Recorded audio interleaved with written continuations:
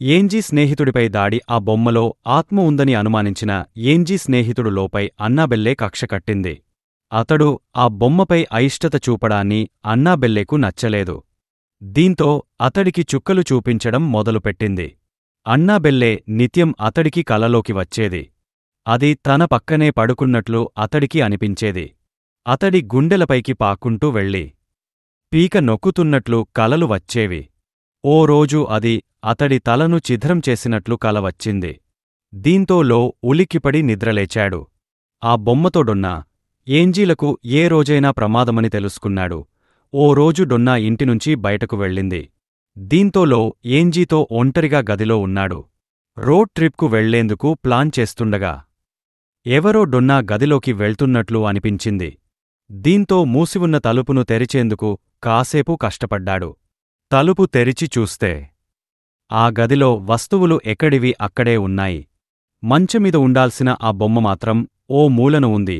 ఆ బొమ్మను తిరిగి మంచమీద పెట్టేందుకులో దాని వద్దకు కదిలాడు. అయితే అతడు దాన్ని సమీపిస్తున్న కొద్ది శరీరం మంటపెట్టడం మొదలైంది. మెడ వెనుక కాలుతున్నట్లుగా అనిపించింది. ఆ తర్వాత గుండెలో నొప్పి వచ్చింది. అతడి షర్టుమీద గీరినట్లుగా మరకలు కనిపించాయి. అతడి చర్మం మీద కూడా గాయాలు కనిపించాయి. అది అన్నాబెల్లే చేస్తుందని తెలిసిలో వెనకడుగు వేశాడు. పరిస్థితి చేయిదాటుతుందని భావించిలో ఏంజీ డొన్నాలు. దెయ్యాలను వదిలించే ఎడ్ లార్రాయిన్ వార్రెన్లను కలిశారు. అయితే వాళ్ళు ఆత్మ బొమ్మను ఆవహించిందంటే నమ్మలేదు. ఆ బొమ్మను ఆవహించింది అన్నాబెల్లే కాకపోవచ్చని ఆమె పేరుతో ప్రేతాత్మ ఆవహించి ఉండవచ్చని అనుమానించారు. దాని లక్ష్యం దొన్న శరీరంలోకి చేరి స్థిరపడటమేనని తెలిపారు.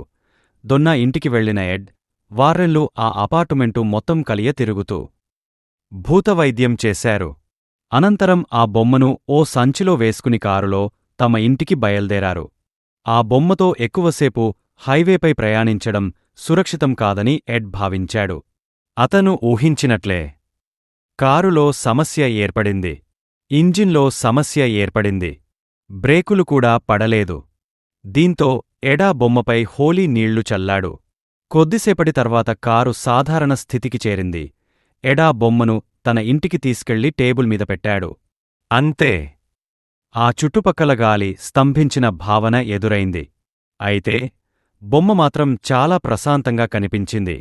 కొన్ని వారాల తర్వాత ఆ బొమ్మ తన అసలి రూపం చూపించడం మొదలుపెట్టింది. డొన్నా ఇంట్లో ఉన్నట్లే.